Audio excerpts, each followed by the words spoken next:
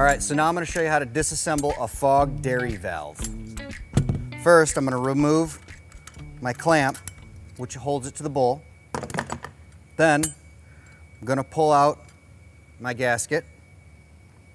Then, I'm gonna pull out the locking pin. Now the key is with the locking pin is you have a flat side that's next to the vent tube and then 180 degrees from that you have another flat side. So it slides out. So you drop it in rotate it 180 and drop it down. And that's how you exactly how you take it out.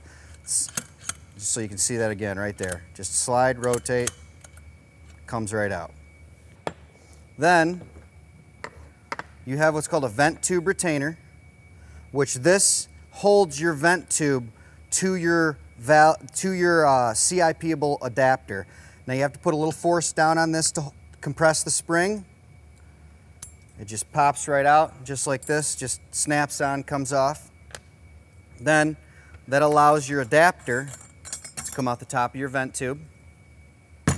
Then remove your spring.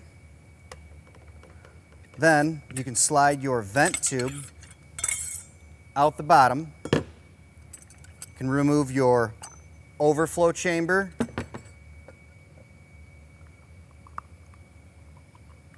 Your overflow spacer.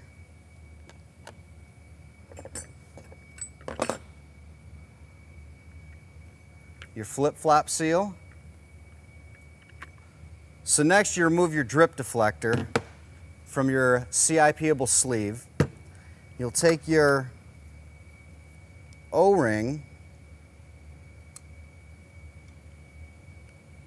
off your vent tube.